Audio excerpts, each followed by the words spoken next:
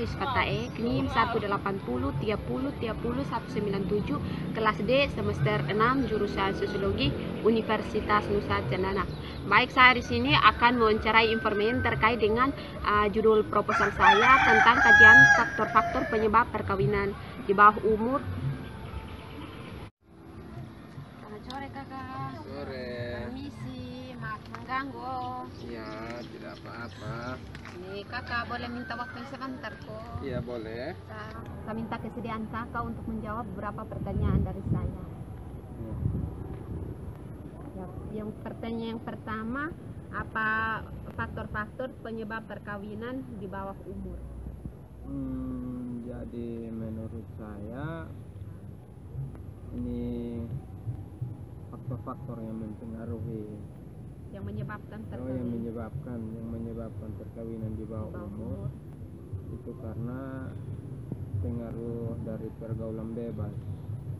Jadi sering sekali terjadi di kalangan remaja untuk atau untuk memaksa me- mereka untuk menikah sebelum usia ideal itu karena adanya pergaulan bebas dan pada akhirnya mereka terjerumus contohnya se- seperti seks bebas dan kemudian orang anak perempuan itu hamil di luar nikah maka jalan satu-satunya ya harus diurus untuk menikah. Nah dari situ akan mungkin akan timbul seperti pasangan yang kurang ideal karena masih di bawah umur sudah harus menikah. Begitu Terus pertanyaan kedua, apa yang mempengaruhi remaja melakukan pernikahan di bawah umur?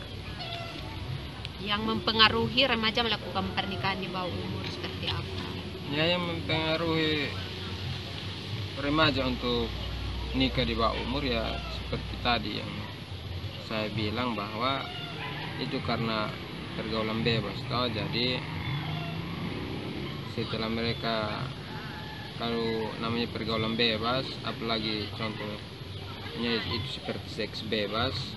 Kan pada usia yang masih rentan dan masih remaja itu sangat sangat ini apa ya hmm, seperti sangat rawan lah. Jadi di saat seperti itu seseorang atau seorang wanita remaja itu rentan sekali dengan kehamilan di bawah umur.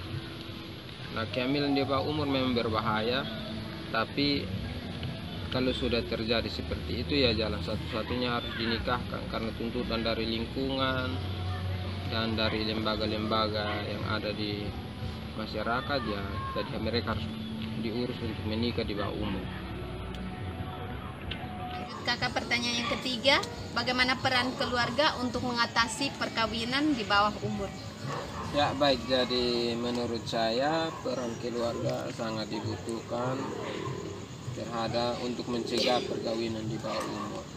Jadi keluarga berperan sejak anak-anak berusia dini sehingga dalam dalam mengontrol anak contohnya dalam penggunaan media sosial bahkan pergaulan anak-anak pun harus dikontrol oleh orang tua.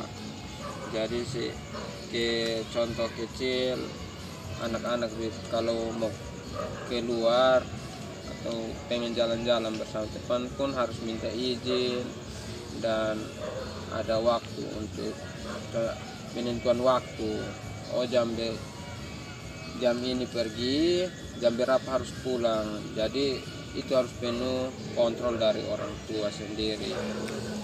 Dan juga pendekatan anak terhadap agama pun sangat diperlukan. Kemudian faktor lingkungan pun mungkin akan mendukung mereka. Jadi ketika kita tinggal di lingkungan yang baik-baik maka akan ada pengaruh positifnya juga terhadap remaja-remaja sendiri. Mungkin begitu saja Baik, terima kasih kakak atas waktunya yang sudah kakak luangkan untuk menjawab pertanyaan saya. Sekian dan terima kasih.